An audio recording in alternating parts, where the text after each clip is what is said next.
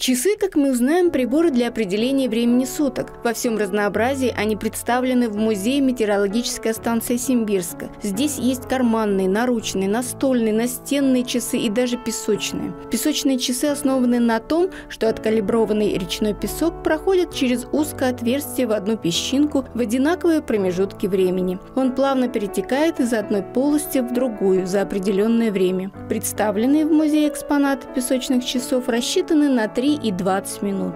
Пожалуй, самый ценный музейный экспонат – каретные часы немецкой фирмы «Юнганс». Каретники, кстати, можно назвать самыми первыми будильниками, потому что в корпус часов был монтирован настоящий будильник, чтобы путнику не проспать время своего прибытия. В экспозиции есть и каминные часы, изготовленные тоже в XIX веке в Западной Европе с корпусом из натурального камня. Они заводятся при помощи специального ключика. Часы могут быть также механическими, электронными и кварцевыми. Все они хранятся в фондах музея-заповедника Родина Ленина.